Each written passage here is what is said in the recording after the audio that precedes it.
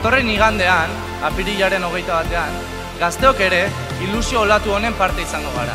Gazteok ere aldaketaren alde bultza emango dugu. Gazteok ere ima, nerea eta peioren alde bozkatuko dugu.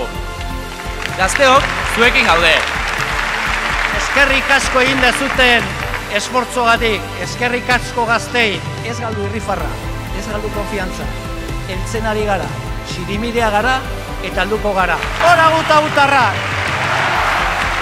Ezkerreko independentismoak ordezkatzen du etorkizuneko proiektua, esperantzaren emale garelako, konfidantza ematen dugulako, eta guk daukagulako Euskal Herri berdinzale, Euskaldun feminista eta iraunkor basortzeko behar dugun etorkizuneko proiektua.